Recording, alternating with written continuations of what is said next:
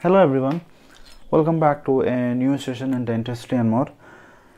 Today's session is about dentine, so we'll be covering this under a few sessions.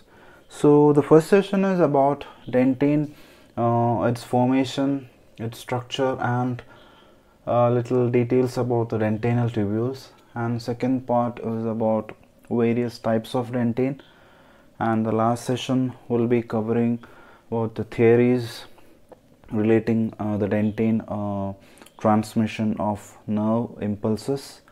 So let's see uh, one by one. So dentine, as we all know, it is a tooth layer, basically the second layer of tooth, uh, which provides the bulk and general form of the tooth and it begins to form slightly before the enamel and it determines the shape of crown including the cusp and ridges and also the number and size of the roots. So let's get into the details of dentine.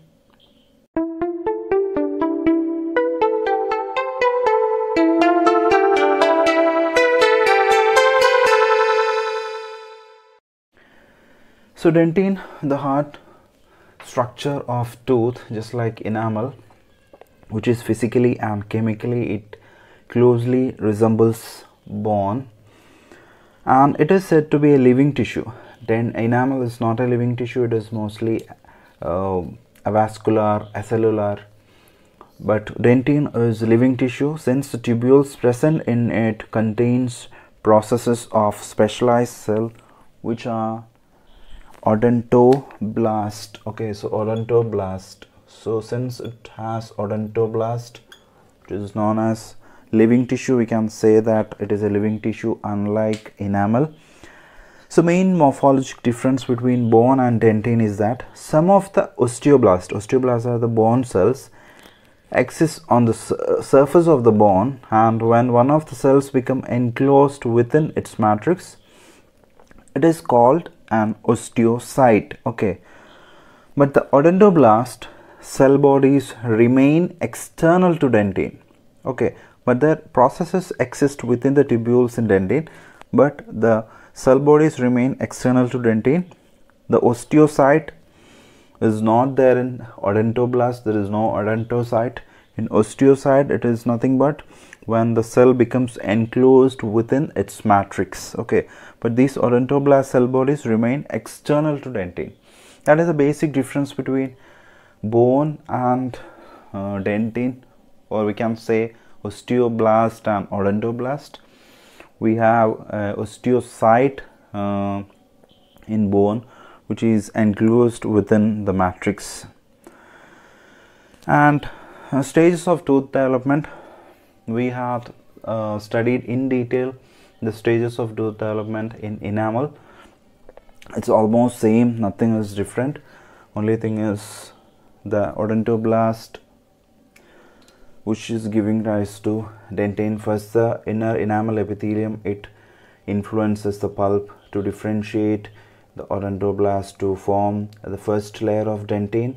Then dentin forms when dentin forms it in turn differentiate the ameloblast, the inner enamel epithelium into ameloblast. So once this dentine predentine is formed, the nutritional supply to the inner enamel epithelium is cut and the nutrition will be taken from the dental sac. So this is the dentine which forms predentine forms. So it forms in the coronal part and even the dent, uh, root part. So we have two types of dentine, the coronal dentine and root dentine and this is a cervical loop so there will be proliferation at this area. This will result in uh, root formation. And uh, this is giving rise to Hertwig's epithelial root sheath. So all this we have covered in detail in the development of tooth and also in enamel uh, chapter. So coronal part I have mentioned in enamel chapter in detail.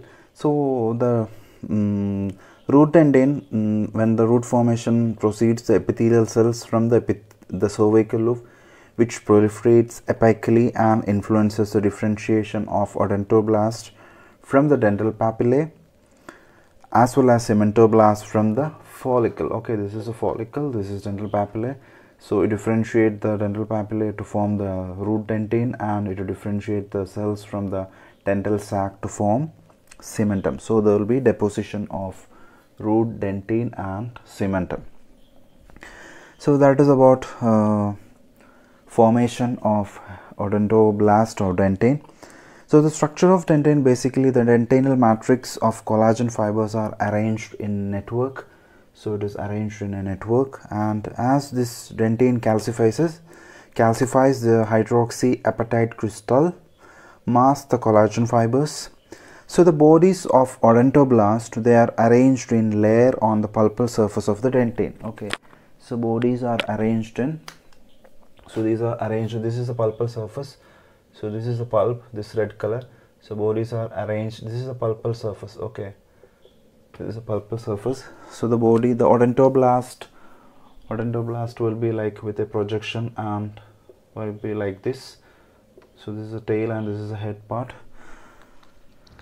so the bodies of odontoblast arranged in a layer on the pulpal surface. So this will be arranged in the layer on the pulpal surface on the dentine and only their cytoplasmic processes are included in the tubules in the mineral matrix. Okay.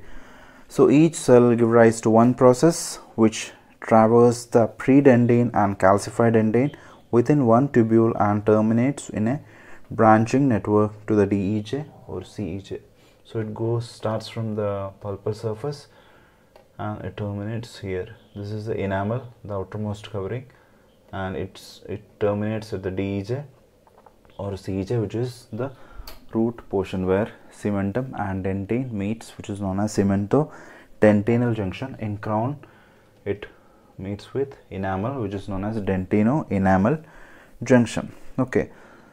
Now let's learn something about dentinal tubules which is basically the course of these tubules follow a gentle curve. Okay so the gentle curve. So it is double curvature and this is known as uh, S-shaped curve. So we have a S-shaped curve. This is like this S-shaped curve. And uh, it starts at right angle at the pulpal surface. Okay so this is a pulpal surface.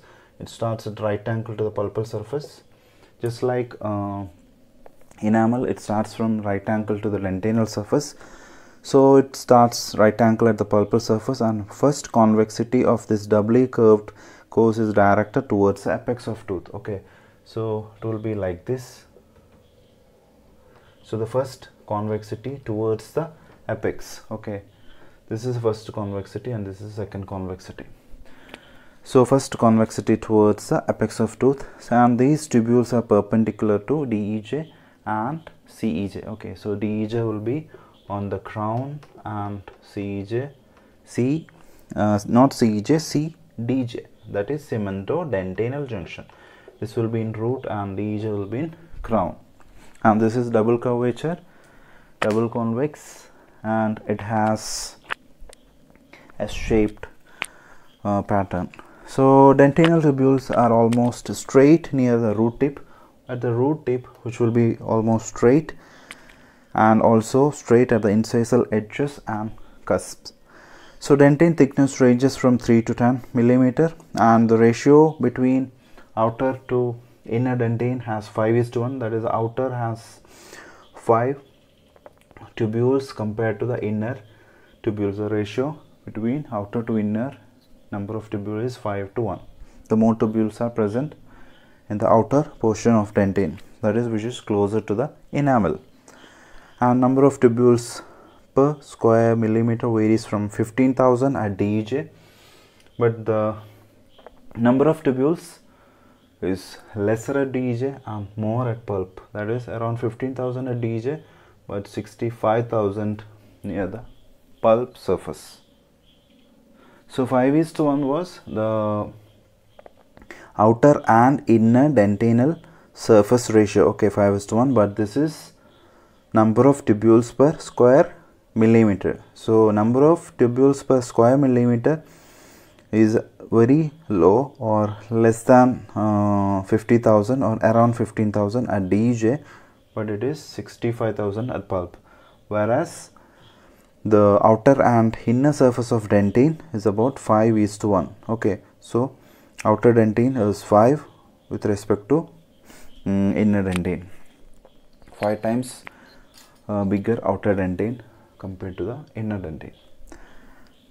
And next we have uh, dentinal tubules and it has lateral branches throughout the dentine which is termed as canaliculae or microtubules. And this enamel spindle we have learned in uh, chapter enamel that is the odontoblast process okay? So the odontoblastic processes which uh, extends through the DEJ into enamel several millimeters which is known as enamel spindle. Actually enamel spindle is not an enamel structure which is actually odontoblastic that is a related dentine which which transfers or which enter into this DEJ for few millimeter. And it terminates in enamel. That is why it is known as enamel spindle. This is odontoblast which extends from DEJ extends through DEJ into enamel. Okay so that is known as enamel spindle. So next we have uh, various types of dentine. Uh, in next session we'll be learning about types of dentine such as peritubular dentine intertubular dentine um, pre-dentine uh, and odontoblastic processes uh, primary dentine secondary dentine tertiary dentine. So all will be dealt in next session. Okay? Thank you